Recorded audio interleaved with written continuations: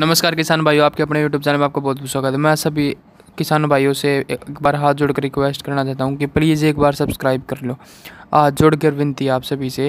हाथ जोड़कर मेरे को पता आप कर लोगे रिक्वेस्ट है आप सभी से। हाथ जोड़कर विनती है एक बार सब्सक्राइब कर लो चैनल को।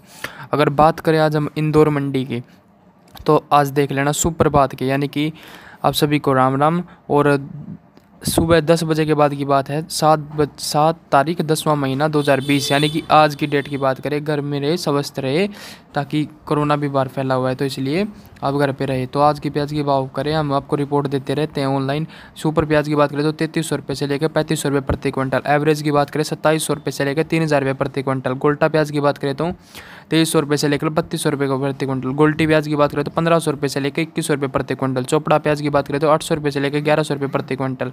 छाटन की बात करें तो चार सौ रुपये से लेकर आठ सौ पचास रुपये प्रति क्विंटल आज का माल बिका है। इंदौर मंडी की आज की ताज़ा रिपोर्ट थी। अगर और भी आपको अपडेट चाहिए तो हमारे यूट्यूब चैनल को सब्सक्राइब करें। और मैं अपलोड करता रहूँगा लहसुन के भाव आलू के भाव धान के भाव कपास के भाव ऐसे ऐसे भाव के बारे में जानने के लिए आप मेरे चैनल पर आएँ और वीडियो को पूरी देखें, लाइक करें शेयर करें सब्सक्राइब करें चैनल को।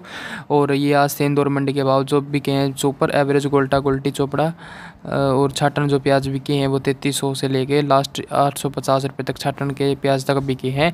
हाईएस्ट तैंतीस सौ से पैंतीस सौ रुपये रहा है तो ये थे आज के मंडी के भाव इंदौर मंडी के सभी भाइयों को राम राम। और सब्सक्राइब आज जोड़कर विनती है, जितने भी आप देखोगे ना सब्सक्राइब ज़रूर कर देना। चाहे दो जने देखो, लेकिन सब्सक्राइब दो के दो कर दो। धन्यवाद आपके, किसान साथियों का।